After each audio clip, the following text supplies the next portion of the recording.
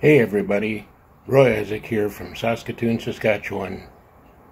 You're watching TJV Trucker Josh on YouTube.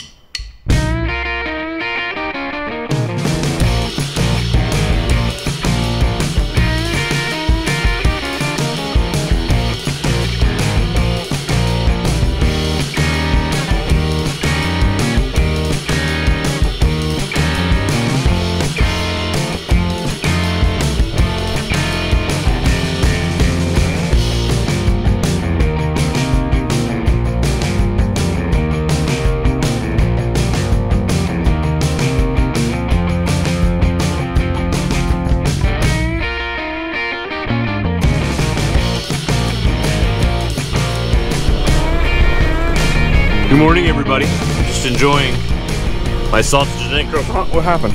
Oh no, Diesel. Diesel, you want some egg? One second, buddy. Want some egg? There you go. Good for you. Good boy. Lucky you. What I was trying to say is I'm enjoying my sausage and egg croissant. This is delicious. We're at the truck stop, the Cenex here, uh, just outside of uh, Wausau, Wisconsin. Oh yeah.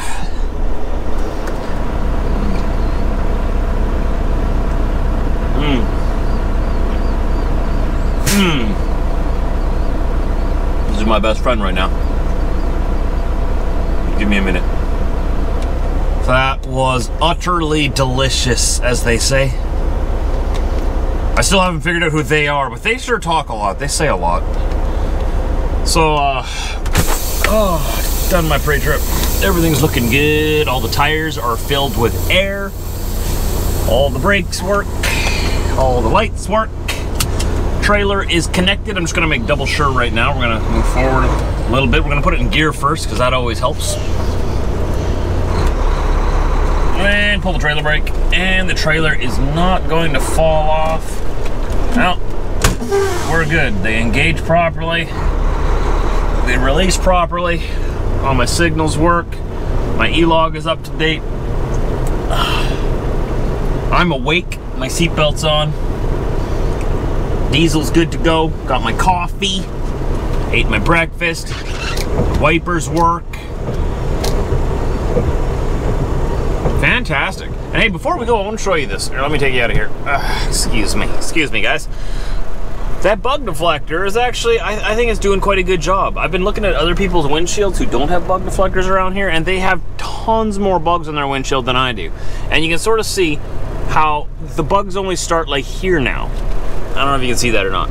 It's almost like a fine line. Like, it doesn't cover the whole windshield, but right where my camera is anyways, it definitely does help keep bugs out of your face. So that's one of the reasons I got it. I got it first of all because it looks cool. Looks awesome but also because I wanted to keep bugs out of the way of my camera because they always hit right in front of the camera. Now it sort of gets shot up over the camera, so that's good. Less bugs for you guys to stare at. You're welcome. Let's get out of here. And the E-log kicks me into driving. All right, we are officially on our 14 hour day. Well, technically we were when I started my pre-trip, but that I can mess around with. The, the the driving part of my day, I cannot mess around with. Once my wheels roll, I cannot take that back.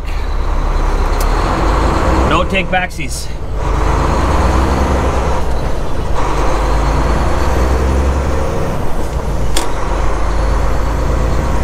It's kind of foggy out this morning, eh? Wisconsin, what you doing? Why are you hiding? See, on a day like today, I could understand when people turn on their fog lights, you know, because there's there, there's fog around. There's fog out today. So many times people have these bright HID fog lights on on like the clearest of nights. I don't know. I guess they think they look cool. I don't know. I don't know. When I was a kid, I used to do that too. Then I realized that it was unnecessary. Anyway, let's get on here.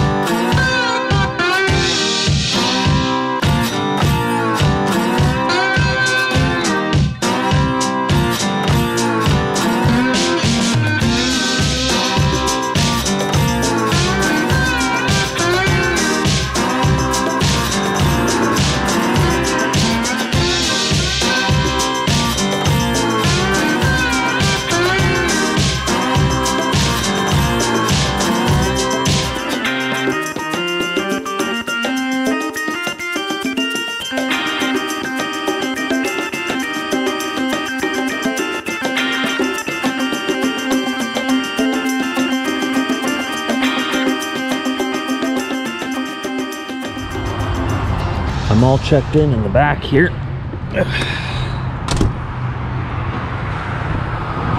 Now I gotta get these tarps off as fast as possible so they can unload me. And just like that, before I could even finish rolling up my straps, they had me all empty. So I've got my tarps tied down all the way to the back here. I'm not gonna need them for my next load, so I'll just transfer them onto the next trailer because my next load is already preloaded. It's waiting for me. All I gotta do is go there, throw those tarps on that trailer, tie them down, tie that load down. Let's hope that it's a simple load and not too intricate. Some of the steel loads are real easy. They're just like straight beams, all the same size, right? And others are all kinds of mismatched pieces with some little pieces thrown in the middle and all kinds of low gauge steel that can bend easily. Uh, we won't know until we get there. So let's get her done, as they say. A little bit later. So that's my load. Easy enough. They got the ropes hanging through on the center beams there just so I can pull straps through underneath that top piece, strap the lower part down, then strap the top piece down on top of everything else. This shouldn't take too long. This is a nice load. Apparently they got me crossing at Emerson, Manitoba though, which is an hour further around than going through North Portal. So I sent them a message to see if they can get that changed. If not, then we'll, we'll go through Emerson.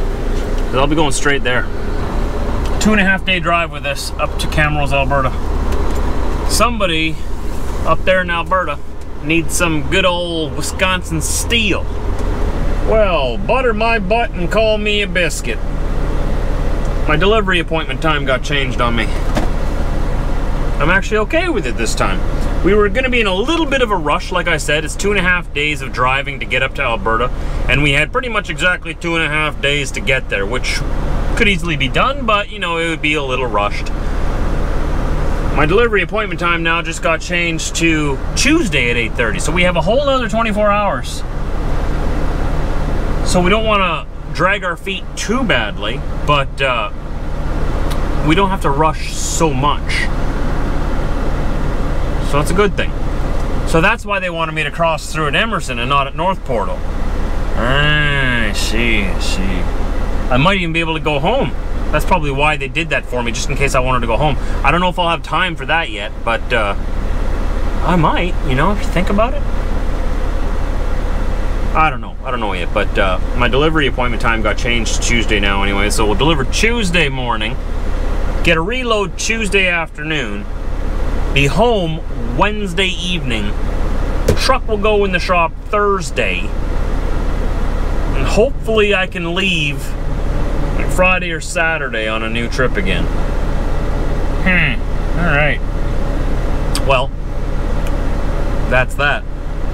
I'm gonna go tie my load down now. I have to be all dressed up with these fancy sleeves and everything here. Because, you know, this fabric will save my arm from getting cut by steel. It's a steel retardant fabric. Can't get out of my truck without having my good cloth steel protectors on my arms. Wouldn't want my arms getting cut. I don't know how this is going to stop steel, but hey, it's their policy. It's their policy, right? Whatever. They make the rules. I just show up and pick up my freight. So while I'm here on their property, I have to follow their rules. Sort of like when I come to visit the U.S. When I'm in their territory and on their land, I have to follow their rules. When I go back to Canada, I'm free again, right? No, not quite. I have a couple more, couple more rules up there. Though, as a truck driver, I have more freedoms in Canada. Isn't that interesting? There's more freedoms, and I can get further and haul more weight and make more money trucking in Canada than I would be able to if I just did trucking in the US. So I guess there's good points to both countries. I like them both. They're both awesome. Canada has treated me well. Gotta throw another strap over this here yet, but I'm almost done throwing straps over this yet. I just gotta tighten them all. I'll throw another couple over the back, but I wanted to show you how this works. Uh, you see they got ropes that they leave on here for you. You tie your strap to it, right? And I've already tied the strap to it over there. You see it? There's the rope. and it's tied to the strap just like that. So, uh, so all I gotta do is pull this and you see it's gonna come all the way up and through here. Around here, it's supposed to anyway. Come on, come on girl. Get over here. I don't know why it's a girl, but hey, there you are. See? Now I got a strap through here. Underneath that top piece there, see that? So I always put my straps on this load as close to the dunnage as possible because you want all of the pressure of the strap and all of the, the weight load from the strap on the dunnage, right? So I put the one over the top just on this side of the dunnage. The one's going through there. I'm gonna move that one right against the dunnage there so that all the pressure is just pushing all the way down that whole system. Try another one. I hooked this one up over there too. You can see that it's connected. See the rope over there?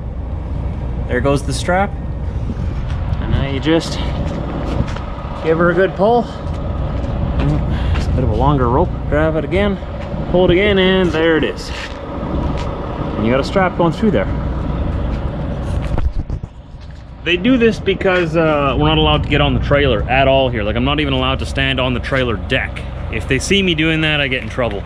And if I keep doing it, then eventually they kick me out of here and I can't come back. And uh, I lose all of the pretty zeros and numbers that are attached to these loads. So just gotta do what they ask, I guess. So I'm gonna continue getting these straps over this. I'm gonna tighten those straps and then we're gonna continue on down, meandering our way towards, up towards Alberta. Got lots of time to get there now. Oh, I haven't even connected my trailer yet. I was just gonna say, all right, let's go and release the trailer brakes. Nah, that wouldn't have worked. The trailer's not even connected yet. Shoot, and I got all changed already. Well, I'm just gonna quickly go out there, connect the connect the airlines and rush back in. We gotta get going. Uh, everything's tied down now. We got a long time to get there, a lot of time to get there, and uh, yeah, nothing else to say. Get back on the road.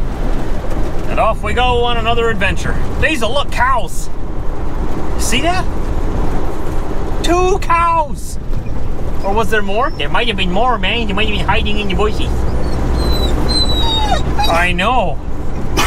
No, we can't turn around. We Can't turn. We can't turn. Where do you think I can turn around right here? I don't know. You want to go say hi?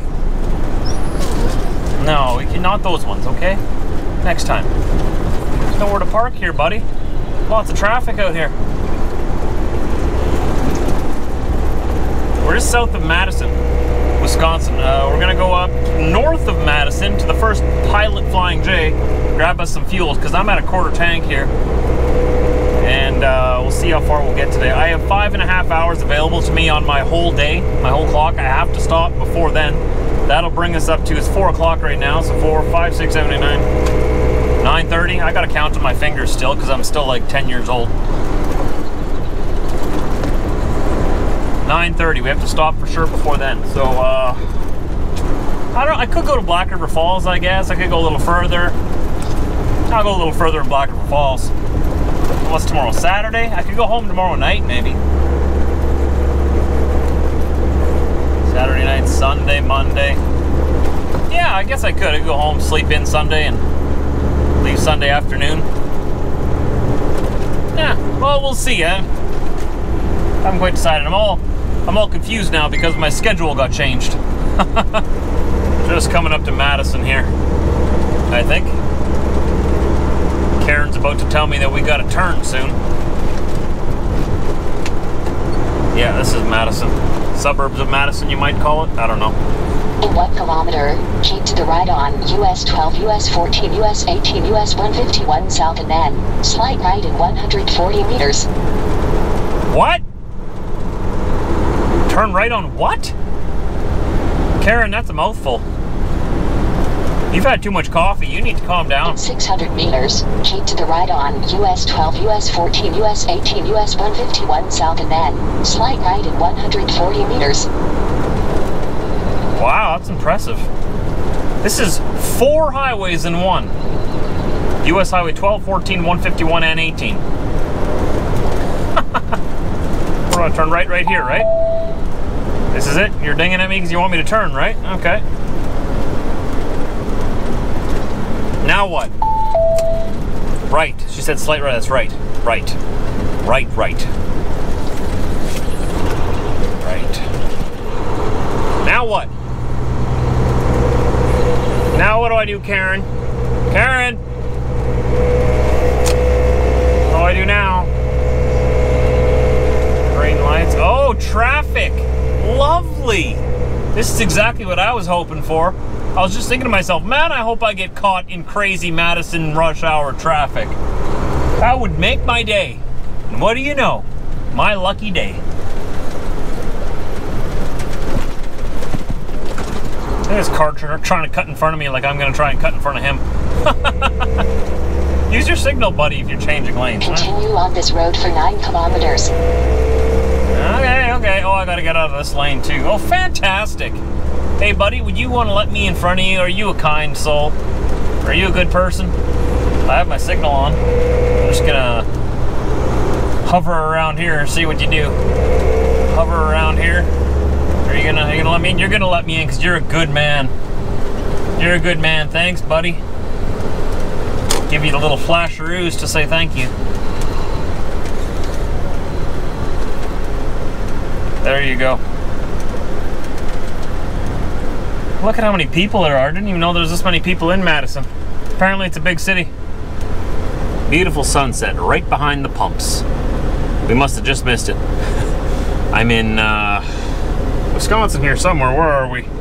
Where are we? Somebody tell me. One second, bear with me. Just stare at those beautiful pumps for a second.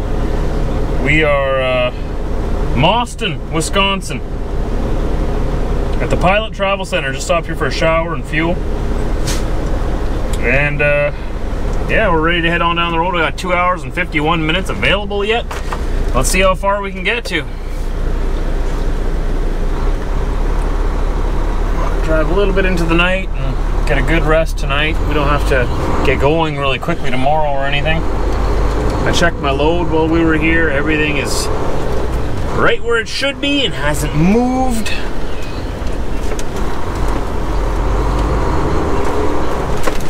Oh dear, oh dear. I kind of hit that bump the wrong way there. Alright. So how far do you guys think I'm going to make it? I'm on I-94 westbound, starting in Mauston. I'd say about two and a half hours. Oh, there's a big bump right here. Big bump, big bump, big bump. Oh, ah! Oh, there it is. Oh, glad I saw that. Didn't nail it. Oh boy, they gotta get that fixed. I bet you some guys don't pay attention and they just nail that.